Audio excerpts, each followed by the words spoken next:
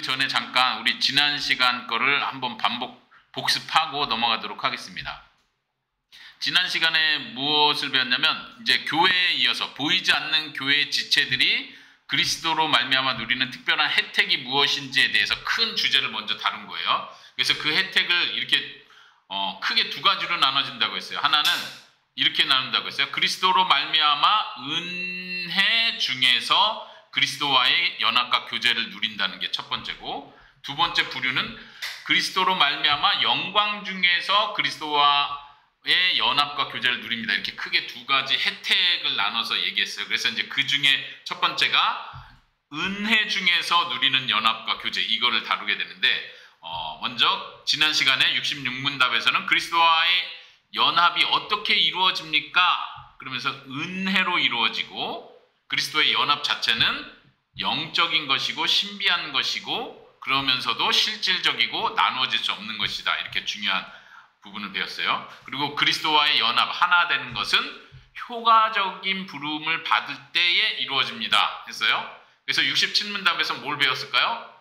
그 효과적인 부르심이란 무엇입니까? 이걸 배웠겠죠. 그래서 효과적인 부르심은 말 그대로 엄마가 진이야 밥 먹으라 하고 부를 때는 항상 그 효력을 발휘하는 게 아니에요. 진이가 거절할 수도 있고 엄마 말이 안 들릴 수도 있고 그렇죠? 그렇지만 하나님께서 우리를 하나님의 자녀로 택하신 자녀로 부르실 때는 반드시 그 효력, 결과, 하나님이 뜻하신 목표와 결과가 반드시 이루어진다. 이런 의미에서 효과적인 부르심이라고 했어요. 그러니까 억지로 강제로 끌고 온다 이런 뜻은 아니라고 했죠. 도리어 우리의 마음을 새롭게 함으로써 우리의 마음을 변화시킴으로써 우리가 여기 기꺼이 그리고 자유롭게 하나님의 그 부르심에 나아온다. 이건 반드시 이루어진다.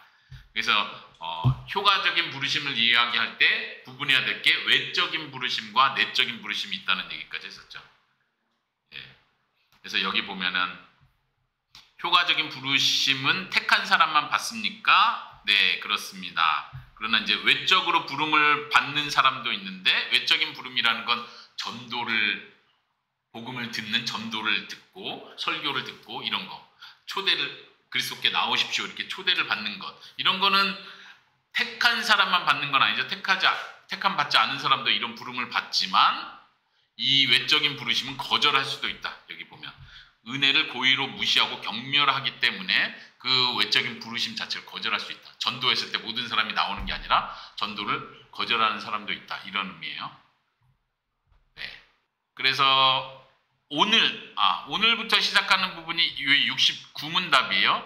69문답 아, 아까 살펴본 데서 보이지 않는 교회 지체들이 은혜 안에서 그리스도와 나우, 나누는 교제는 무엇입니까? 아까 크게 두 가지로 나눠진다고 했을 때 은혜 안에서 이게 첫 번째고 두 번째는 영광 안에서 그리스도와 나누는 교제 이렇게 나눴었는데 어, 오늘부터는 은혜 안에서 그리스도와 나누는 교제는 무엇입니까? 해서 크게 세 가지를 배울 거예요. 오늘 배우는 주제 핵심은 칭의에 대한 거라고 했어요.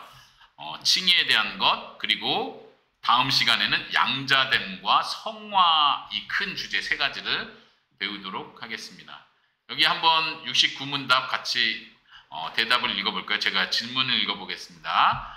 보이지 않는 교회 지체들이 은혜 안에서 그리스도와 나누는 교제는 무엇입니까? 대답 보이지 않는 교회의 지체들이 은혜 안에서 그리스도와 나누는 교제는 그들이 의롭다 하심을 받는 것, 양자 되는 것, 점점 거룩하게 되는 것, 그 밖에 이 세상에서 그리스도와의 연합을 나타내는 모든 일에서 그리스도의 중보의 효염에 참여하는 것입니다. 네.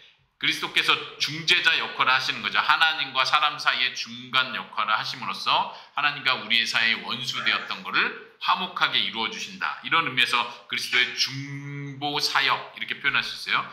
그 중보 사역을 통해서 얻는 모든 효염에 참여하는 거예요. 그게 이제 은혜 안에서 그리스도와 나눈 교제의 내용입니다.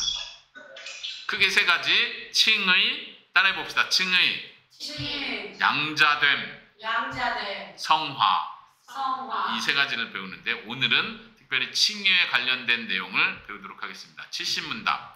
자, 칭의 의롭다 하심은 무엇입니까? 같이 읽겠습니다. 시작. 칭의는 하나님께서 죄인들에게 값없이 주내는 은혜의 행위입니다. 즉 하나님께서는 죄인들의 모든 죄를 용서하시고 그들 자신 그대로 하나님 보시기에 의롭다고 받아들이시고 간주하십니다. 이는 죄인들 안에서 일어난 어떤 것이나 그들이 행한 어떤 일 때문이 아니라 다만 그리스도께서 이루신 완전한 순종과 충분한 만족을 하나님께서 죄인들에게 전가하시고 그들은 이를 오직 믿음으로 받아들임으로써 그러합니다. 네. 칭의가 뭐예요? 한자죠. 말 그대로 의롭다고 칭하신다 이런 뜻이에요. 의롭다고 하신다. 이거는 이제 법적 법정적 용어라고 했어요. 법정에서 재판관이 어, 신문 받는 사람을 향해서 최종 판결을 하는 거예요. 이 사람은 무죄입니다. 죄가 없습니다. 그런데 죄가 없습니다로 끝나는 게 아니라 의로운 사람입니다라고 칭하는 거예요. 그러니까 죄가 없습니다 정도가 아니라 의로운 자다, 온전한 자다, 흠이 없는 자다라고 평가를 내리시는 하나님의 평가를 칭의라고 하는 거예요. 그러면 우리 사람이 택함 받은 사람이 하나님께 의롭다, 온전하다라고 평가를 받을 수 있는 방법은 뭐예요? 어떻게 그렇게 받을 수 있다는 거예요? 여기서 그걸 설명합니다. 하나님께서 우리를 의롭다고 받아들여 주시고 그렇다고 간주해 주십니다. 그렇게 여겨 주시는 거예요. 말하자면 우리는 죄를 졌어요. 분명히 죄를 졌어요. 우리는 어린아이조차도 살아오면서 욕을 하고 나쁜 생각을 하고 나쁜 행동을 하고 나쁜 마음을 먹고 법을 어기기도 해요. 어린아이조차도. 그런데 어떻게 하나님께서는 그러한 죄를 지은 사람 그리고 우리가 알듯이 원죄를 원죄를 물려받은 사람 그 사람을 하나님은 의롭다고 여겨주시는 거예요. 너는 죄가 없을 뿐만 아니라 흠이 없고 온전한 자다라고 어떻게 우리를 그렇게 여겨주세요? 그거를 설명합니다. 다, 다시 한번 보세요. 그래서 이것을 하나님의 은혜의 행위라고 합니다. 값없이 주어진 거예요. 그걸 설명합니다. 값없이 주어졌다는 것은 하나님께서 죄인의 모든 죄를 먼저 용서해 주십니다. 그리고 어떤 일이 일어나요? 어떻게 그렇게 해주세요? 죄인, 죄인들 안에서 일어난 어떤 것이 아닙니다. 아니라 또 죄인들이 행한 어떤 일 때문이 아닙니다. 근거를 지금 설명하는 거예요. 우리를 의롭다고 했는데 죄인들 안에서 일어난 어떤 것이라는 건 이걸 말하는 거예요. 내가 변화된 거예요. 성품이 변화돼서 내 속에 선한 마음들이 생겨나서 내가 변화된 삶을 살아요. 성품이 좋아졌어요. 그것 때문에 하나님이 어 그러니까 너는 의롭다 이렇게 말해준 게 아니라는 거예요. 또 그들이 행한 죄인이 행한 어떤 일, 착한 일을 하고 선행을 꾸준히 해왔기 때문에 하나님께서 인정해줘서 그래 너는 죄가 없다, 의롭다 이렇게 해준 게 아니라는 거예요. 이해하죠? 그러면 어떻게 우리가 의롭다라고 평가를 받았어요? 판단을 받았어요? 다만 그리스도께서 이루신 완전한 순종. 우리는 완전한 순종을 할 수 없어요. 그러나 예수님, 그리스도께서는 그 일을 하셨어요. 그리고 충분한 만족. 이것은 하나님의 법에 따라서 형벌 법을 어긴 자에게 따르는 하나님의 형벌을 하나님께서 충분히 온전히 만족시키셨다는 그런 의미예요.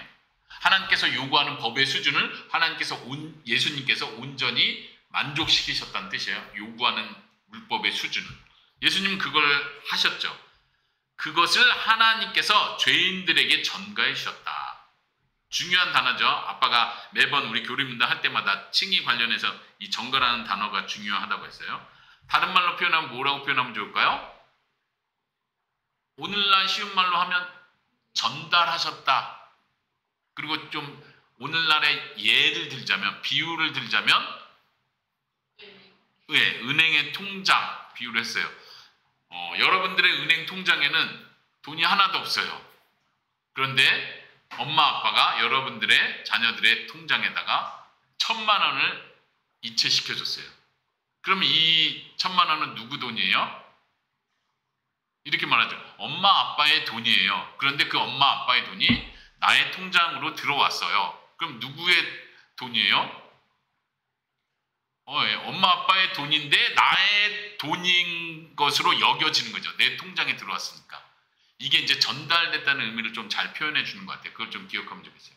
예수님께서 분명히 예수님이 얻으신 완전한 순종과 만족을 이건 예수님 거예요. 예수님이 하신 거예요. 근데 그것을 우리에게 전달시켜 주셨다는 거예요. 그리고 법정적으로는 이 완전한 순종과 완전한 의가 우리 통장에 들어왔기 때문에 이건 법적으로 우리의 것이 것으로 인정을 받는 거예요. 하나님께서 그렇게 여겨주시고 그런 의미에서 우리를 의롭다고 칭해 주셨다는 거예요. 이것이 하나님의 놀라운 구원의 방법이에요. 이 방법 외에는 어떤 사람도 구원받을 수 없다는 거예요. 다시 말하면 여기서 표현한 대로 이걸 잘 구분하면 돼요. 내가 변화돼서 내 속에서 착한 어떤 마음이 나와서 하나님께 인정받는 방법으로는 구원받을 수 없어요. 사람이 어떤 착한 일을 하고 훌륭한 일, 온전한 일을 해내서 하나님께 인정받고 의롭다고 죄가 없다고 인정받을 수 있는 사람 아무도 없어요. 그런 방법은 절대 있을 수 없어요. 오직 예수님께서 이루신 것이 우리의 것으로 사람의 것으로 전달되어 하나님이 그것을 인정해 주실 때만 가능해요. 그리고 칭에 대해서 마지막 중요하게 강조하는 건 이것은 오직 믿음으로서만 받아들여지는 것입니다. 믿음으로써 우리의 것이 됩니다. 이것이 칭입니다. 칭의가 무엇입니까? 이해하겠어요? 누군가 칭의가 무엇입니까? 물어보면 여러분들이 설명할 수 있겠어요? 네, 지금은 이제 여러분들이 설명할 수 있을 정도는 돼야 돼요. 우리는 오직 믿음으로 의롭다함을 받았습니다. 오직 믿음으로 칭의를 받았습니다. 이럴 때 칭의가 뭐예요? 아, 이것은 하나님께서 우리에게 은혜로 주시는 건데 우리의 어떠한 모습, 우리가 행한 어떤 것과 상관없이 오직 예수님께서 이루신 완전한 순종과 충분한 만족, 공의를 만족시키신 그것이 우리에게 전달됨으로써 하나님께서 우리를 의롭다고 판결해 주시는 게 바로 칭의입니다. 우리는 바로 그 칭의 때문에 영생을 얻고 하나님의 백성, 하나님의 자녀가 되는 것입니다. 이렇게 설명할 수 있으면 되겠, 좋겠습니다. 자, 칭의와 관련해서 71문답. 여기서 다시 한번 설명합니다. 칭의가 어떻게 하나님께서 값없이 주는 은혜의 행위입니까? 아까 위에서 질, 답변에서 처음 칭의는 하나님께서 죄인들에게 값없이 주는 은혜의 행위입니다 하고 쭉 설명을 한 거예요. 근데 이 부분이 너무 중요해서 이 부분을 다시 묻는 거예요. 왜 그 칭의가 값없이 주는 은혜의 행위라고 말을 합니까? 왜 어떻게 해서 그렇습니까? 이렇게 질문하고 그걸 답변을 봅니다. 같이 답변도 읽어보겠습니다. 시작. 비록 그리스도께서는 의롭다함을 받은 사람들을 대신하여 자신의 순종과 죽으심으로 하나님의 공의에 대해 적절하고 실질적이며 충분한 만족을 드리셨지만 하나님께서는 사람들에게 요구될 보증으로부터 만족을 받으셔야 했습니다. 하나님께서 이 보증으로 자신의 아들이신 그리스도를 주시고 그리스도의 의를 그들에게 전가하셨습니다. 그리고 그들을 의롭다 하실 때에 믿음에는 아무것도 요구하지 않으시는데 이 믿음 또한 하나님의 선물이므로 그들이 의롭다함을 받는 것은 하나님께서 그들에게 값없이 주시는 은혜입니다. 네, 어쩌면 이 안에 있는 내용, 답변 내용은 그 앞에서 지금 다 얘기한 얘기를 그대로 반복한 거예요. 그쵸? 예수님의 순종과 죽으심으로 공의에 대해서 만족시켜 드리셨습니다. 그리고 정가하셨습니다. 그리스도의 의를 죄인들에게 정가하셨습니다. 이런 내용 앞에서 지금 다 반복한 내용이죠. 그리고 믿음만 요구하셨습니다. 믿음으로 의롭다함을 받았습니다. 그래서 값없이 주는 은혜입니다. 그런데 여기서 질문과 답변의 요지, 핵심이 뭔지를 잘 봐야 돼요. 앞에서는 칭의가 무엇입니까 하면서 쭉 설명한 거고 두 번째에서는 칭의가 왜 어째서 값없이 주는 은혜입니까? 이걸 물어보는 거. 왜 칭의 받는 걸 은혜라고 해요? 한마디로 말하면 이거예요. 우리가 한 건 아무것도 없고 우리가 받을 자격은 없는데 그 칭의를 우리에게 주셨기 때문에 이것을 값없이 주는 은혜의 행위라고 말하는 겁니다. 이게 답변이에요. 그렇죠? 근데 여기 써 있는 글은 그렇게 쉽고 단순하지가 않잖아요. 그렇죠? 근데 이제 이 내용 안에서 여러분들 그 핵심을 찾아내시면 돼요. 요 끝에를 먼저 볼까요? 먼저 믿음으로 칭의를 받는다고 했는데 이 믿음 또한 하나님의 선물입니다. 이걸 먼저 기억하면 좋겠어요. 내가 믿었어요. 이 사람들은 안 믿었는데 저도 처음에 의심이 들었는데 그래도 고민하고 기도하고 성경 열심히 보고 말씀을 연구하면서 결국 내가 믿음을 갖게 되었어요. 마치 믿음이 내가 한 어떤 행위나 믿음이 어떤 내가 치른 대가인 것처럼 생각할 때 이건 하나님의 은혜를 은혜로 여기지 못하는 거예요. 칭이 받는 것은 하나님의 은혜예요. 왜냐하면 내가 믿었지만 그 믿음조차 하나님의 선물이었기 때문에 그렇습니다. 이걸 기억하세요. 물론 아빠도 개인적인 경험에서 처음 예수님을 인격적으로 만나고 복음에 대한 확신을 갖기까지 많은 고민을 하고 많은 어려운 생각의 여정들을 거쳤어요. 아, 이것이 진짜인가? 성경은 뭐라고 말하지? 성경을 읽고 생각하고 고민하고 그러다가 아, 이런 생각까지 들었어요. 아, 내가 정말 이렇게 하나님을 찾고 찾는데 하나님 제가 이렇게 하나님을 찾는데 왜 하나님 저를 안 만나 주십니까? 이러면서 하나님께서 만약 저를 너무 안 만나 주시니까 아빠 이런 말 했어요. 하나님께서 정말 저를 만나 주시면 이건 제가 노력한 대가입니다. 막 이런 생각이 들 정도로 무슨 말인지 알아요? 너무 막 힘드니까 아 이 정도 기도하고 이 정도 매달리고 찾으면 하나님이 좀 만나 주셔야 아 감사합니다가 나올 텐데 감사합니다가 나올 텐데 그때는 너무 힘드니까 하나님 제가 이렇게까지 하는데도 안 만나주십니까? 정말 이제 만나주시면 내가 이렇게 노력한 대가를 받은 것 같은 느낌. 그런 생각이 들 정도예요. 그런데 하나님께서 정말 나를 인격적으로 만나주시고 복음을 깨닫게 하시고 하나님의 사랑이 얼마나 큰지를 알게 해주셨을 때는 그런 말이 쏙 들어가는 거예요. 왜냐하면 내가 얻은 그 구원의 은혜는 너무나 큰 거예요. 내 이 노력, 이건 노력한 거에 대한 대가라고 할 수 없다는 거예요. 내가 믿었기 때문에 하나님이 뭘 주셨다라고 믿었기 때문에를 강조할 수 없다는 거예요. 자랑할 수 없다는 거예요. 저 사람들은 노력도 안 하고 하나님을 찾지도 않고 믿으려고도 노력 안 했고 말씀도 연구 안 했지만 나는 했어. 이렇게 자랑할 수 없다는 얘기예요. 여기서 그걸 강조합니다. 믿음은 하나님의 선물이에요. 그렇기 때문에 이것은 그들에게 값없이 주는 은혜입니다. 앞부분은 뭐예요? 똑같이 여기서도 강조하는 건 그거예요. 예수님께서 순종과 공의에 대한 만족을 예수님께서 하셨는데 하나님께서는 그것을 예수님께 요구하는 게 아니라 사람에게 요구하는 거죠. 사람에게 요구하는 건데 그 예수님께서 이루신 것을 사람에게 전가함으로써 사람 우리 우리가 구원을 받았다면 우리에게 그걸 요구한 게 아니라 예수님이 이루신 그것을 다 받으심으로 끝냈다는 얘기예요. 그 그렇기 때문에 은혜입니다. 이렇게 강조하는 거예요. 지금 이 표현이 약간 한국어로 번역될 때 좀 약간 어려운 표현, 표현이 좀 헷갈려요. 근데 핵심은 거기에 있다는 거. 예수님께서 충분한 만족을 들으셨지만 하나님은 사람들에게 그걸 요구했던 거예요. 그럼 사람도 똑같이 예수님처럼 했어야 되는데 그걸 하나님께서 사람에게 진짜로 요구해서 끌어내지 않았다는 거예요. 만약 그렇게 하셨다면 어느 누구도 구원받을 수 없었겠죠. 칭의받을 수 없는 거예요. 근데 사람들에게 요구한 것을 보증인이 되시는 예수 그리스도 자신의 아들을 하나님께서 친히 준비하셨다는 거예요. 예를 들면 이런 거죠. 어, 뭐 이건 좀 부정적인 비유가 될 수도 있을 것 같은데 예를 들어서 조폭이 깡패가 너 1억 내일까지 준비해. 이건 뭐 부정적인 비유라서 헷갈리면 안 돼요. 하나님께서 우리에게 요구하신 공의는 공의로운 요구를 하는 거예요. 너가 죄를 진 거에 대한 합당한 대가를 받아야 돼 라고 하는 거예요. 근데 부정적인 비유로 조폭이 너 1억 내일까지 안 가져오면 넌 죽은 목숨이야 그랬어요. 그런데 조폭이 그날 저녁에 가서 1억을 미리 딱 건네주는 거예요. 그리고 다음날 와서 1억 내놔! 그랬더니 딱 내는 거예요. 이 착한 조폭이네요.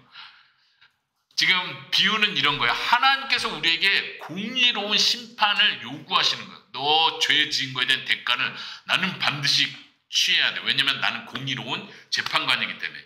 그런데 그것을 예수님은 이미 다 이루셨어요. 그 예수님이 이루신 걸 이 사람에게 딱 전달해주고 그래 난 너로부터 공의로운 대가를 다 받았다라고 말씀하시는 거예요. 그러니까 이게 우리 입장에선 완전히 은혜인 거예요.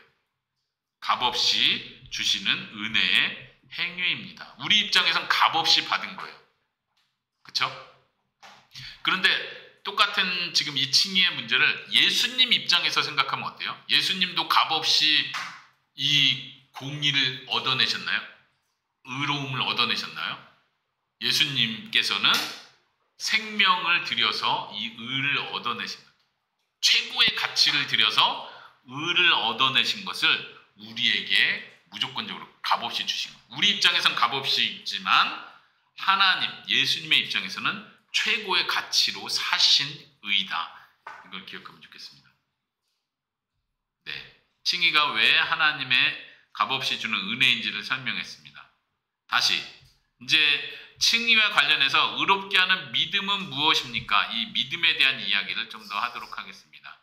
72문 의롭게 하는 믿음은 무엇입니까? 대답 읽겠습니다. 시작. 의롭게 하는 믿음은 성령과 하나님의 말씀으로 말미암아 죄인의 마음 속에서 일어나는 구원의 은혜입니다. 이 구원의 은혜로 말미암아 죄인은 자기 죄와 비참함을 그리고 자신과 다른 피조물들에게는 잃어버린 바 된 상태에서 스스로 회복할 수 있는 능력이 없음을 깨닫고 복음이 약속하는 진리에 동의할 뿐 아니라 죄사함을 받기 위해서 그리고 구원받기 위해 하나님 보시기에 의롭다고 받아들여지며 간주되기 위해 복음에서 제한된 그리스도와 그리스도의 의를 받아들이고 의지합니다. 네, 이 믿음이 무엇인지를 설명합니다. 우리가 오직 믿음으로 이 의를 받아들인다, 전가를 받아들인다 했는데 의롭게 하는 믿음이라고 표현해요. 의롭게 하는 이 믿음은 먼저 설명하기를 이것도 하나님께서 주시는 은혜입니다라고 먼저 말해요. 믿음도 은혜입니다. 그런데 이 믿음은 성령님과 하나님의 말씀을 통해서 이루어지는, 주어지는 은혜입니다. 그러니까 하나님의 말씀, 복음 없이, 성경의 말씀 없이 성령의 역사로 툭 나오는 것도 아니고 반대로 성령의 역사는 없는데 사람이 잘 가리키고 말씀을 깨닫고 한다고 해서 주어지는 믿음도 아닌 거예요. 이 두 가지가 같이 있습니다. 근데 이 믿음이 어떤 일을 하는지 크게 두 가지를 두 가지를 설명해 줍니다. 잘 보세요.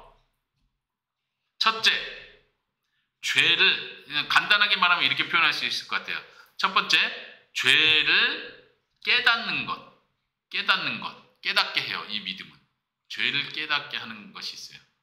그걸 좀 더 설명해서 비참함을 깨달아요. 이 죄인의 비참함, 죄로 인해서 받게 되는 형벌의 끔찍함을 깨닫게 해주는 것.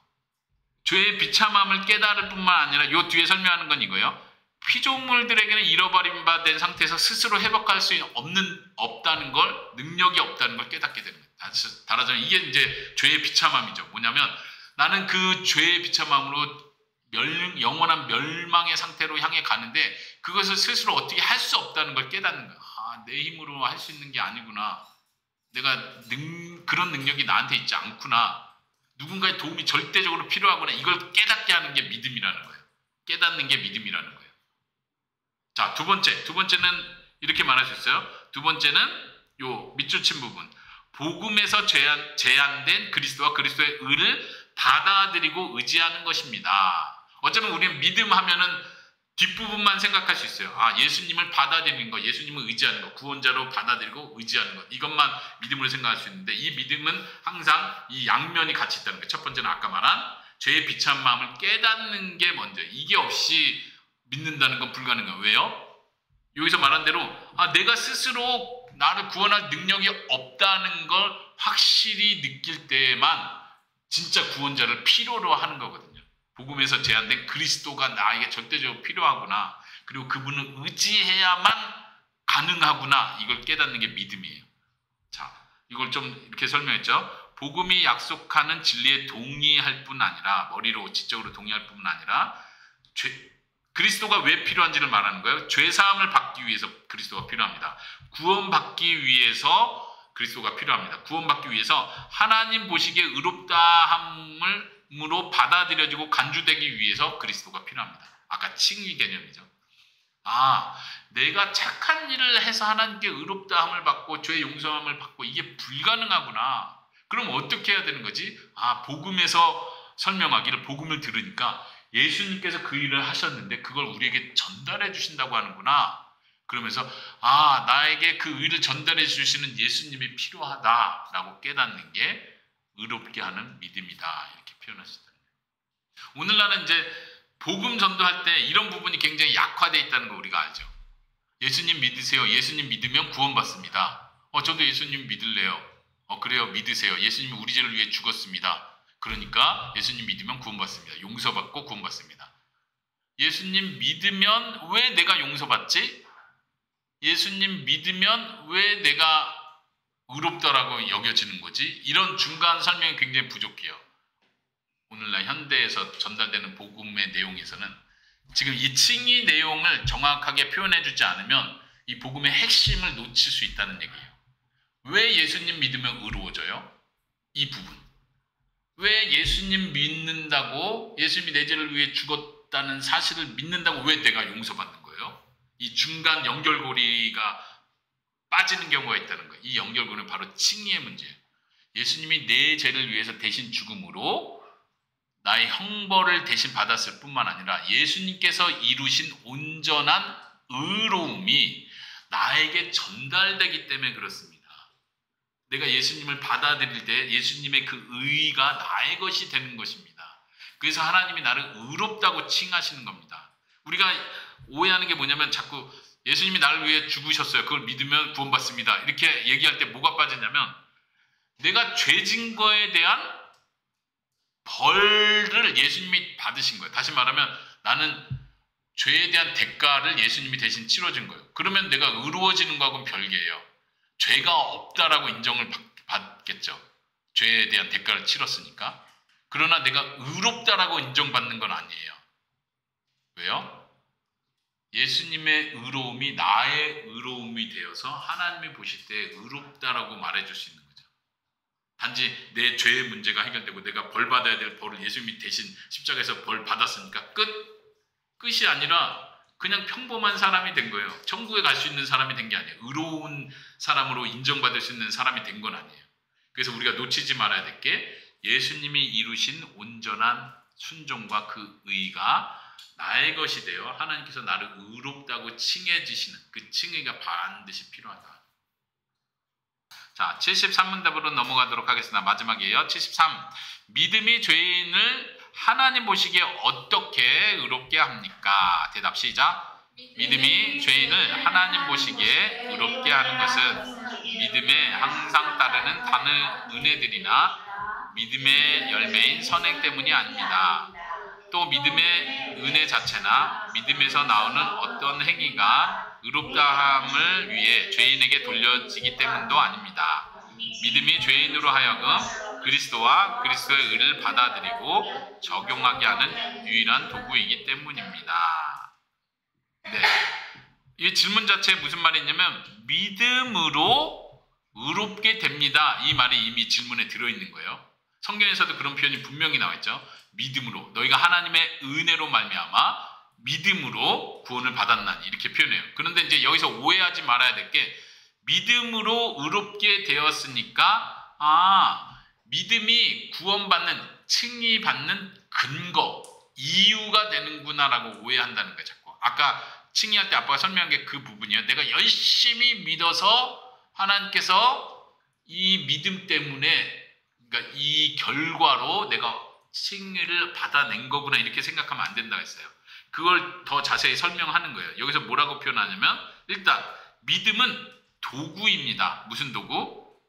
그리스도의 의를 받아들이는 도구입니다.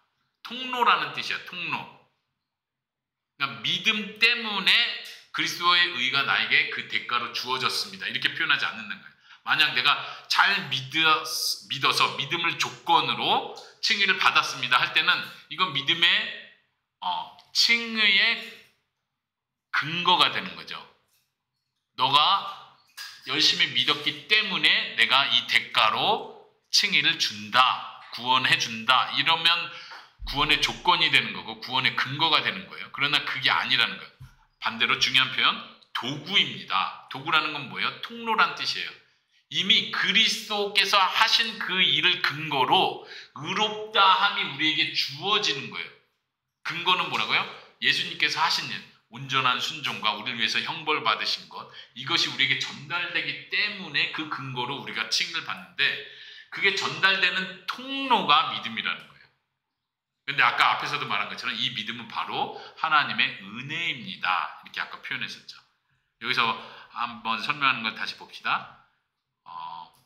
어, 믿음이 의롭다 여김을 받게 하는 것은 무무가 아닙니다라고 먼저 앞에서 설명해요. 뭐가 아니냐면 항상 따르는 다른 은혜들이나 믿음의 열매인 선행 때문이 아닙니다. 그러니까 우리가 예수님을 믿는 제대로 믿는다고 할 때 그 믿음에 따라오는 은혜들이 있어요. 그렇죠? 그리고 그 믿음의 열매로서의 착한 일들이 나오게 돼 있어요. 참된 믿음은 착한 선행을 낳습니다. 이렇게 표현할 때 그 열매라고 표현한다면 아 믿고 나니까 그 참된 믿음에서부터 나오는 착한 일들, 선한 일들, 또 그 믿음에서 나오는 사랑, 봉사, 헌신, 기쁨, 아 이런 것 때문에 하나님께서 우리를 의롭다고 해주는구나가 아니란 얘기예요. 이걸 첫 번째 설명한 거예요. 또 뭐가 아닙니다라고 설명을 해요. 뭐가 아니냐면 믿음의 은혜 자체나 믿음에서 나오는 어떤 행위가 의롭다함을 위해 죄인에게 돌려지기 때문도 아닙니다.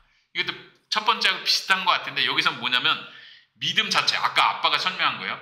내가 열심히 믿은 것을 하나님께서 이 믿음 자체를 어떤 행위로서 여겨준다는 거예요. 하나님께서. 이건 오늘날 현대 신학에서 주장하는 그 주장을 예리하게 지적한 거예요. 오늘날 현대 신학에서 잘못된 자유주의 신학에서 강조하는 건 뭐냐면 하나님께서 본래는 믿음을 요구하셨는데 완전한 믿음을 요구하셨는데 하나님께서 이 요구하시는 기준을 좀 낮추셨다. 구원받는 사람이 없으니까 기준을 낮추셔서 이 의로운 완전한 의 대신에 믿음을 그래도 신실한 믿음을 갖는 사람을 의롭다고 여겨주자. 그러니까 성경에 그런 비슷한 말씀이 있으니까 이걸 그렇게 해석을 잘못하는 거예요. 아브라함이 하나님을 믿으니까 그 믿음을 의로 여겨주셨다. 이 성경의 말씀을 그렇게 해석하는 거예요. 아, 본래는 완전한 의를 하나님께서 요구하셨는데 기준을 낮추셔서 아, 믿기만 해도 그 믿음 자체를 의로 여겨주셨구나. 이렇게 해석을 해버리는 거예요.